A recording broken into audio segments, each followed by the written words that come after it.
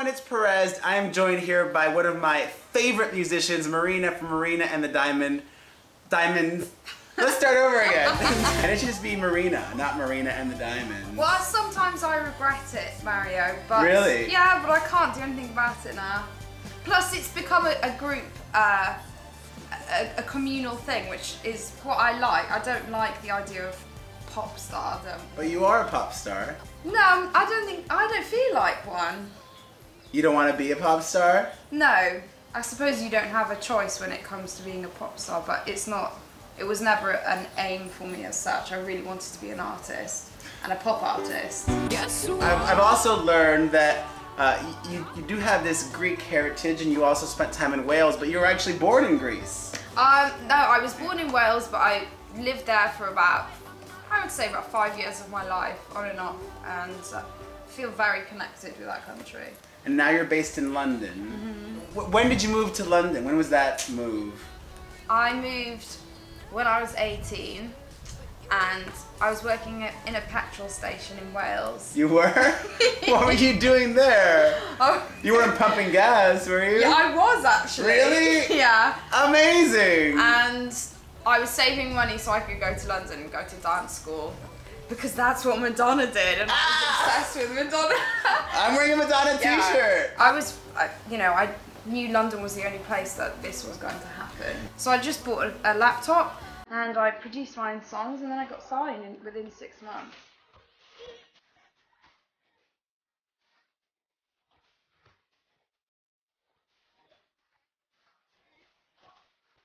Now we're here in America. Uh, you've done some shows. You do talk about America a lot. You're you're kind of obsessed with it. Why why the obsession, fascination with the U.S. of A. And is it tongue in cheek or is it serious? Oh no, it's deadly serious. I, for some reason, ever since I was 12, actually 9, 10, basically when we got Sky in our tiny village in Wales and I could watch MTV and Nickelodeon, I was hooked. And um, I think America's a really interesting country for so many people, but for me, I really latched onto the mentality and to analysing the culture because it is a very interesting culture. It's a very young country. Things like Hollywood, um, the song Hollywood, they just challenge people to question what success actually is because it's not really about beauty or um, about money, even though those things are really nice. I They're very nice. There's a lot.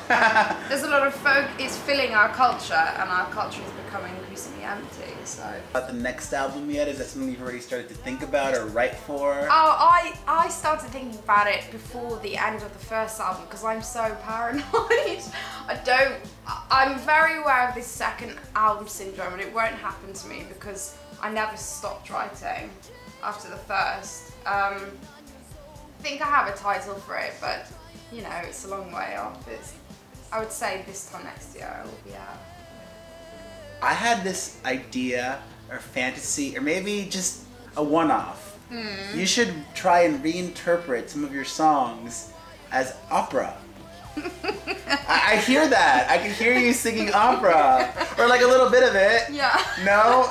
Why? You get that a lot? Is that a bad idea? No, I, I would. I would like actually. There's this program in the UK called Pop Opera, and I really wanted to take part. Um, but you have to be quite good. But I think sometimes I think it's a shame that my parents didn't give me opera lessons when I was younger. well, I, I can. So I I- really have the, vocals yes! You should just do it. it. Yeah. You know what? I'll sit on that one. I'll sleep on it, and I'll let you know. You make all these cool videos. You should just do like a viral cool video for one of your songs like that. I, as a fan, love when you reinterpret your songs. Like you did a really amazing. Actually, I don't know how many versions of Hollywood you did, and they were all really Yeah, good. yeah. You did this great orchestral version um, oh yeah. with uh, Gonzales. See, I see what you mean with the videos thing. I Yeah. just do it for fun. Yeah. Like the Gonzales thing was meant to be like an Estonian TV. yeah, and that looked really cool. Yeah. At a time when you're new to people and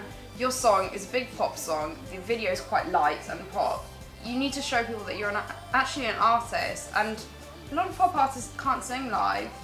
And so for me, it was just a, an identity uh, It was a way to build my identity. Well, gorgeous. Hmm. I've had too much fun. I've had fun as well. Thank you. Yeah, thank you. I hope I've inspired some ideas. Yeah, opera.